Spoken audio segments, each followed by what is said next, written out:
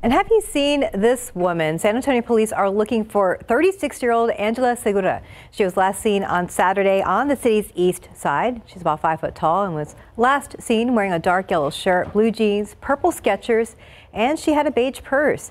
If you know anything about where she could be, you are asked to call the San Antonio Police Department's Missing Persons Unit. That number is 210 207 7660.